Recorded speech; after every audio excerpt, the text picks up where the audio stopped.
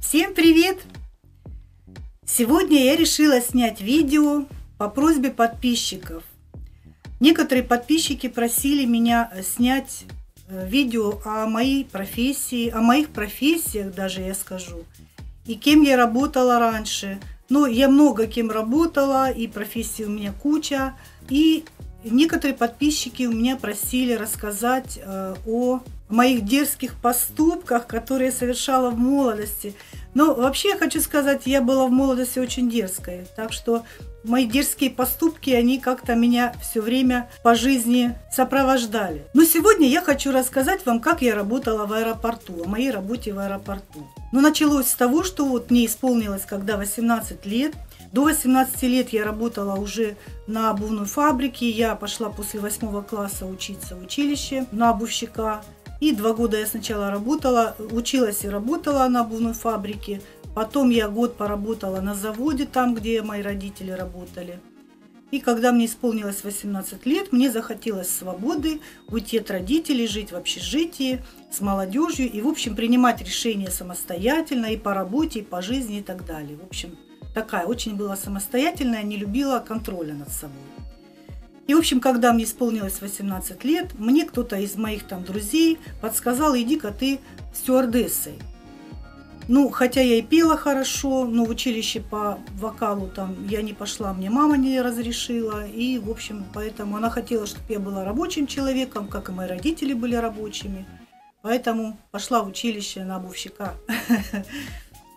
Но уже когда стала совершеннолетней, уже решила, буду сама решать, кем мне быть. Ну, в общем, подсказали мне друзья, иди стюардессой. Я говорю, ну как же я без языков, а, туда разве берут?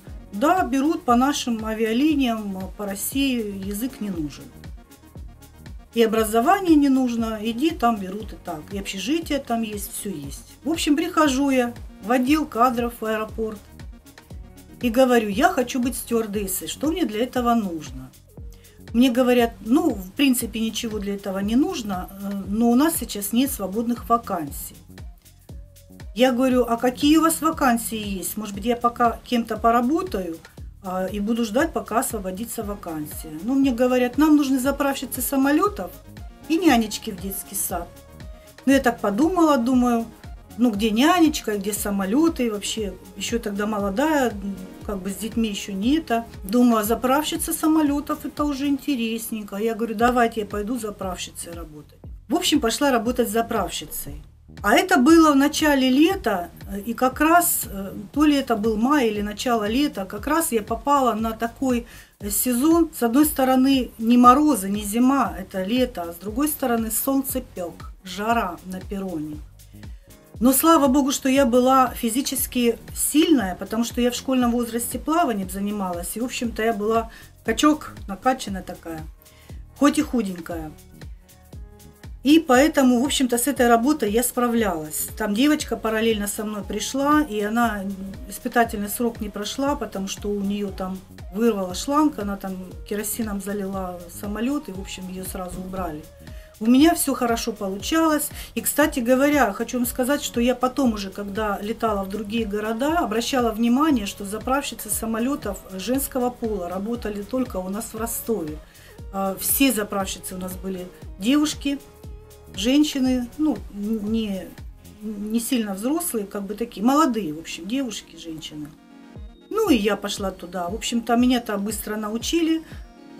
Ну, хочу так вкратце рассказать, как заправляется самолет. Самолеты разные, заправляются по-разному. Ну, вот в основном самолеты, которые мне приходилось заправлять, это Ту-134. Он заправляется, там вот такая вот штука железная, я уже не помню, как она называется, которую соединяют, но на вытянутых руках нужно было ее поднять, она килограмм 5 весит, и под ней еще вот такого диаметра шланг, э, который наполняется топливом.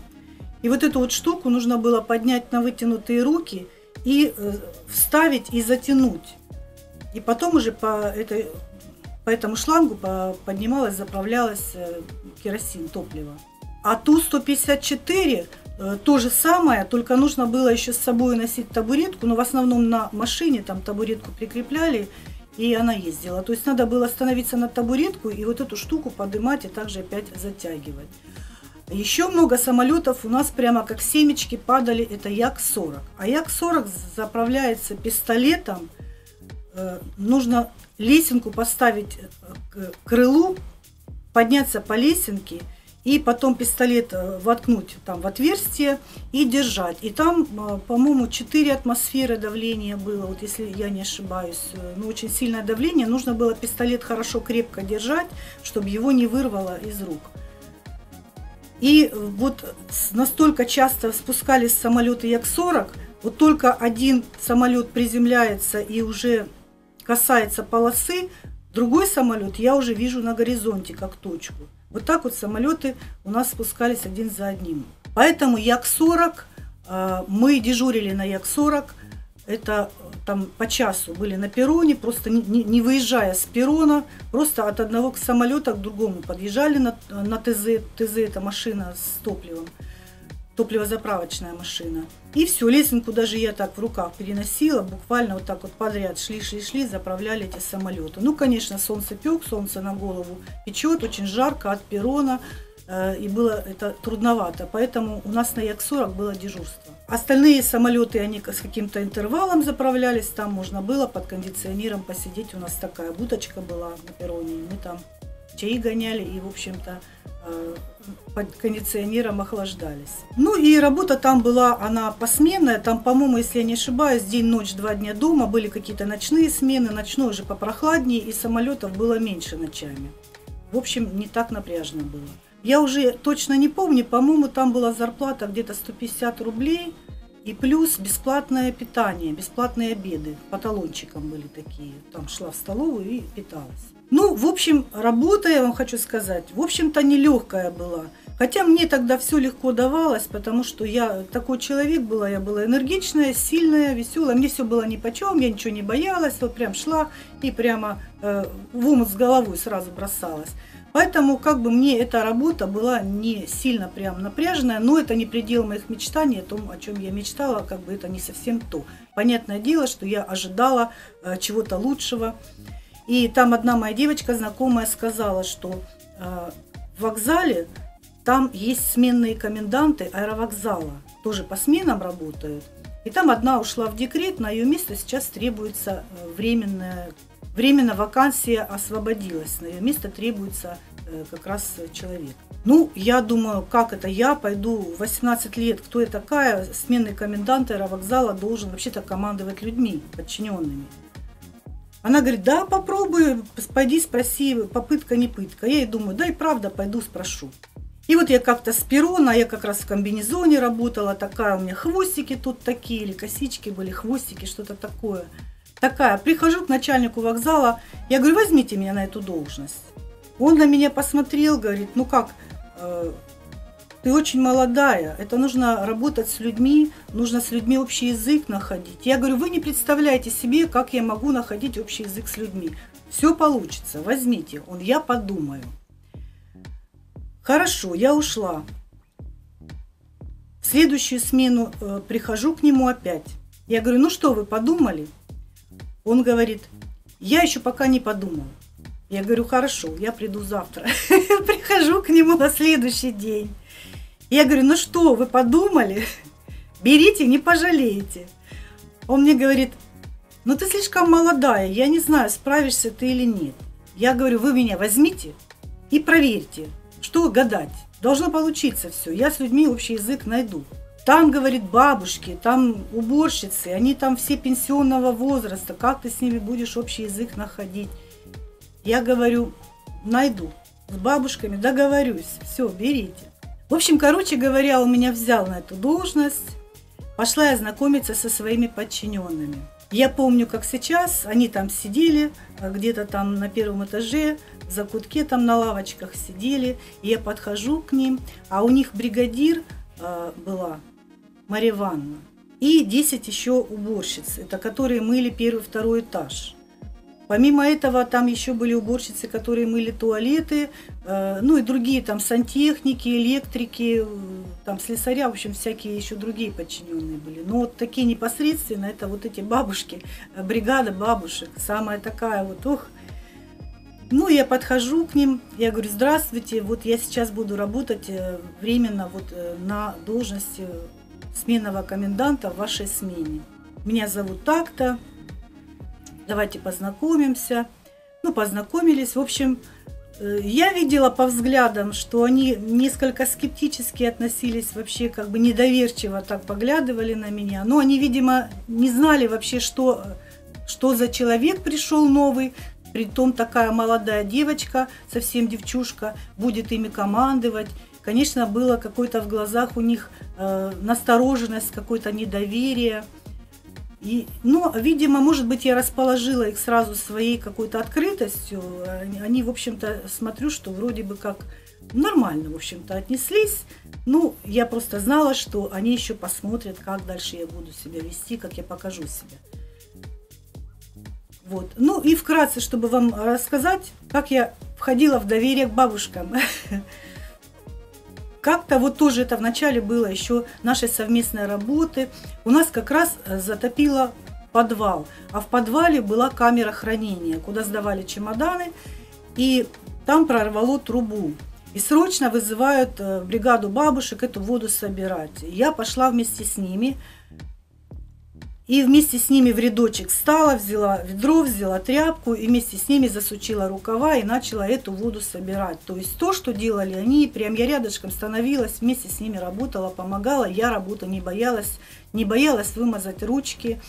И, в общем-то, как-то вот с бабушками у нас э, получился э, хороший такой тандемчик. Я была к ним открыта, всегда приветлива, они были со мной открыты. И если даже нам давали какое-то, начальник давал какое-то задание, которое было трудно сделать бабушкам, я просто помогала им и сама эту работу грязную делала вместе с ними. Поэтому, э, наверное, они меня зауважали больше, чем своего предыдущего, скажем, начальника. И, в общем, мы подружились. Даже если у кого-то из бабушек было день рождения, а раздевалка у них находилась в подвале, и там по коридору длинному пройти, и в самом-самом конце, в общем, там была такая большая раздевалка, где они там кушали, э, переодевались. И если у кого-то из бабушек было день рождения, они приносили там из дома всякие разносолы, там еду, закуску, ну, бутылочку, понятное дело, там бывает домашнего вина – и вот когда там какой-то уже конец смены там или перерыв обеденный, ну, в основном это было в ночную смену, когда начальства нет никого, они меня приглашали туда, стол накрывали, приглашали меня туда, я приходила, и мы там сидели, э, разговаривали, шутили, смеялись, даже песни пели хором прямо. Я вообще как дирижер хора, и знаете, такие как застольные э, песни, многоголосие. В общем, идеальный хор у нас. Я говорю, нам не тут работать надо, а прямо на телевидении идти с хором нашим вообще. Ну, в общем, замечательно. И, с ними я ладила, и замечательно с ними работала. Если кому-то нужно было отпроситься там в какой-то день, я просто говорила, что давайте только договоритесь, кто вас подменит, чтобы это было, чтобы у нас не было каких-то пробелов или что-то. И, в общем, договаривались. С бабушками мы договаривались, все у нас было шикарно. Что еще в э, тот период хочу вам рассказать интересного? Э, ну, 18 лет мне исполнилось как раз-таки в 1982 году. И вот лето я проработала на перроне. В начале осени я пришла работать уже комендантом аэровокзала – и как раз э, в ноябре 1982 года умер Брежнев. А, объявили тогда траур там на несколько дней, там три дня, по-моему, был траур, не помню. А у нас перед этим приехали музыканты из Москвы э, в Ростов очень известная в тот момент, э, в те года была рок-группа, я не буду называть ее, название ее, известные музыканты, которых я наслышана, и музыку их слышала, и все. И так получилось, что я познакомилась с одним из музыкантов, и вот только они приехали, по-моему, один концерт, да, они э, сделали, и потом вот объявили траур, то есть никакие концерты, э, не было концертов. И они вот эти вот траурные дни пережидали у нас в Ростове. Ну и я с моими друзьями э, и с этими музыкантами, в общем, на левом берегу Дона, мы там отдыхали. Ну, я один раз, правда, с ними съездила, э, хорошо отдохнули, посидели. В общем, э, проводила иногда время, э, ну не иногда, а просто вот один раз как-то вечер посвятила с музыкантами. Очень интересно было с ними, весело. И как раз через год они приехали, а через год это у нас, когда умер Брежнев, на его место стал Андропов – Андропов 15 месяцев правил. Ну, как раз так получилось, что они в следующий раз, когда приехали на гастроли, опять попали на траур. И опять мы встретились, и опять мы, в общем-то, отдыхали вместе. Да, еще хочу рассказать вот о каких-то своих там, ну, скажем, дерзкие, не дерзкие. Ну, тут много, в общем-то, уже такой дерзости у меня. Э, я, сказать, смелых каких-то поступков, можно сказать, в эти мои 18 лет было. А что еще было такое запоминающееся? Это у нас как-то вокзал посетила санэпидстанция. А у нас поломоечная машина, она мыла первый этаж. Ну, то есть одна, одна там из уборщиц, она просто поломоечной машиной проходила по первому этажу и мыла. А бригада остальная мыла полностью швабрами второй этаж. Но когда у нас сломалась эта поломочная машина, а ломалась она часто и чинили ее долго, э, бабушки мыли первый этаж тряпками, а осень, много грязи, дожди и так далее. И э, только они помыли, и опять грязь. В общем, попала, попала, получилось так, что санэпидстанция пришла а, на тот момент, когда у нас вот это все мылось тряпками, мылось, естественно, один раз в смену, потому что ну, нереально это все мыть постоянно, и грязь сразу опять становились полы грязные. В общем, санэпидстанция, когда ушла, мы кое-как с начальником отстрелялись, в общем, там уговорили их, что машинка пока что поломанная, мы ее починим, все нормально будет, все будет убираться. В общем, нас не оштрафовали, но после их ухода мы с начальником сели в кабинете и начали, как говорится, думку думать, что же делать нам с этой поломочной машиной. И я у него спрашиваю, а в чем проблема, почему нельзя купить новую?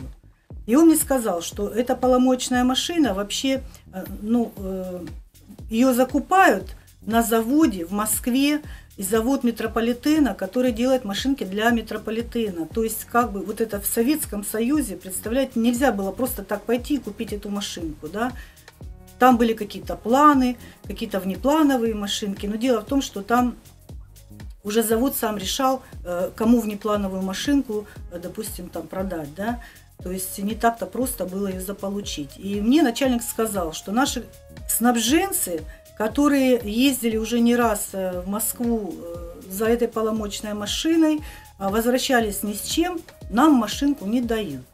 Я говорю, ну может быть они плохо просили, давайте отправим меня в командировку и попробую я попросить. Он говорит, ну ты же молодая, кто там тебе даст? Я говорю, ну вот на работу вы меня не хотели брать, но взяли же, да? Давайте попробуем меня отправить. Ну, э, попытка не пытка. Он говорит, ну правда, чем черт не шутит, давай. Но, говорит, я поговорю с нашим командиром авиаотряда, э, даст он добро на эту командировку или нет. Я говорю, ну попробуйте его убедить, может быть получится. Ну и на следующий день, на следующую смену, когда я прихожу, мне начальник говорит, поговорил я с командиром, он хочет сам с тобой побеседовать. Ну, пошла я к командиру, он на меня посмотрел, и говорит, да это вы, наверное, просто хотите Москву посмотреть. Я говорю, нет, для меня вот дело принципа, я хочу поломочную машину раздобыть. Может быть, тогда быстрее стюардессой стану.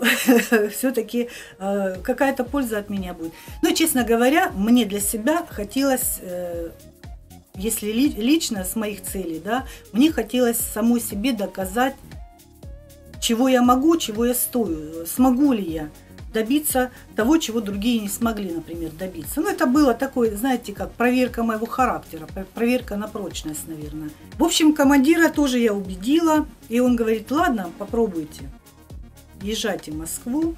В общем, дали мне командировочные, там подотчетные, вообще мизерные деньги. Слава богу, что я перед этим зарплату получила и, в общем-то, с зарплатой со своей поехала. Но ну, тем не менее, когда я в Москву прилетела, пришла я на этот завод, и секретарше говорю. Она мне спрашивает, вы откуда и зачем? Я сказала, из Ростова, я э, в командировку за... Мне, нам нужна машинка поломоечная. Она зашла к директору в кабинет, выходит и говорит, он вас не примет. Ну и так между нами она говорит, вообще-то до, до вас э, тоже приезжали вот с Ростова, и никого он не принял. Я говорю, ну в таком случае я отсюда никуда не уйду, пока он меня не примет. Я не, не, при, не для того приехала, прилетела, вот, чтобы просто прийти, э, увидеть вас развернуться, лететь обратно. Я ни с чем не могу вернуться. Вот давайте, пусть он со мной поговорит, пусть он мне лично скажет, э, и я своему начальству передам то, что он мне скажет. Пусть он мне лично скажет, что он меня не хочет слушать, не хочет принимать. Но, видимо, она обалдела от этой дерзости. Пошла директору, доложила. Наверное, директор тоже обалдел от такой дерзости и решил выйти посмотреть на меня. В общем, вышел, он меня увидел. Это вы из Ростова, или я из Ростова? Ну, заходите, давайте поговорим. Зашла в кабинет, начали мы разговаривать.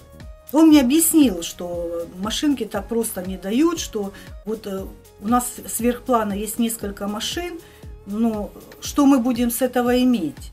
Я говорю, а что вы хотите? Они говорят, мы можем, допустим, по бартеру. По бартеру, допустим, идти как обмен. Ну, понятно, что машинку мы покупаем, но, допустим, какой-то дефицит, они же нам дефицит дают, и какой-то дефицит мы должны им тоже э, дать взамен. Я говорю, что вас интересует? Но тогда в моде были летные куртки, а их тоже купить вот так просто было нельзя. Их там выдавали как спецодежду, но они тогда были прямо модные, и видно, может быть, тоже где-то там из-под полы как-то продавались, покупались, не знаю. Я говорю, хорошо, давайте я свяжусь сейчас со своим начальством, и мы обсудим это. И, в общем, я со, со своим командиром связалась. Я говорю, предлагают такой бартер – есть ли возможность это сделать? Он говорит, хорошо, есть возможность сделать. И, в общем, по бартеру мы договорились, и нам выдали машинку одну, а мы им две куртки дали по бартеру взамен, две кожаные летные куртки. И вот таким образом я приехала уже в Ростов с документами, но э, я так гордилась собой, что я смогла, сделала я это. Так что, скажем так, что вот дерзкие мои поступки, да, вот эти поступки все были мои дерзкие. Я на протяжении всей своей молодости вот такие поступки постоянно и совершала дерзкие. Если мне нужно было что-то э, раздобыть, чего-то добиться, свое что-то доказать, то я вперед из песни, без страха и сомнения делала это. Вот.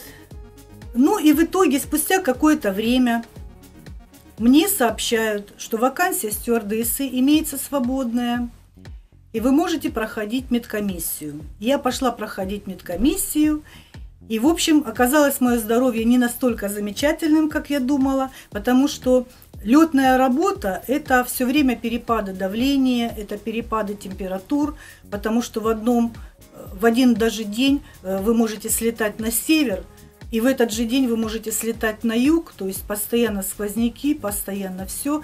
И поэтому не должно быть никаких хронических болезней.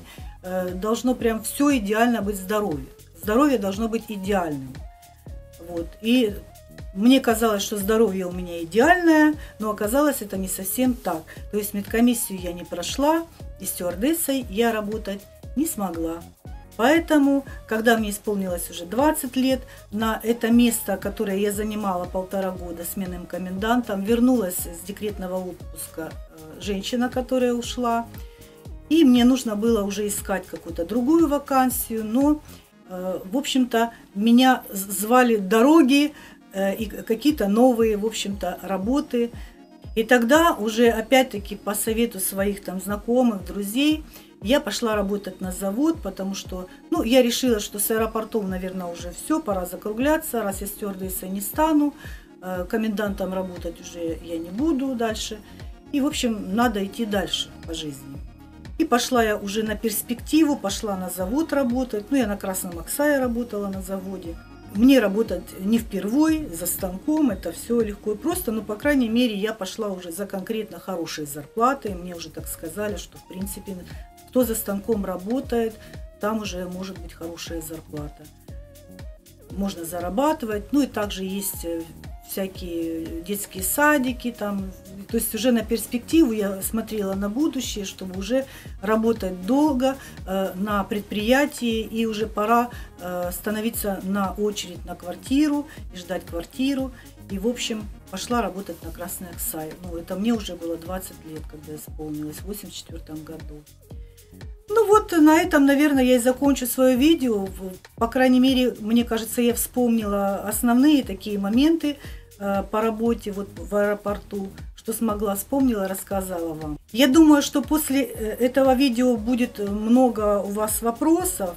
И такого формата видео я снимаю впервые. Было оно вам интересным, вот эти мои рассказы, или это скучное видео, неинтересно, вы об этом напишите в комментариях. Ну, а кому мое видео понравилось, также ставьте лайк, подписывайтесь на мой канал, кто не подписан. Если у кого-то есть какие-то вопросы, какие-то предложения по поводу, э, может быть, снять какие-то темы, поговорить, вот болталку такую, да, поговорить, рассказать вам о каких-то там темах, э, может быть, из моей молодости, времен моей молодости, так скажем, да. Ну, предлагайте, я все это учту, возьму на заметку и, в общем, буду стараться для вас это видео снять. Ну, на этом все. Пока-пока!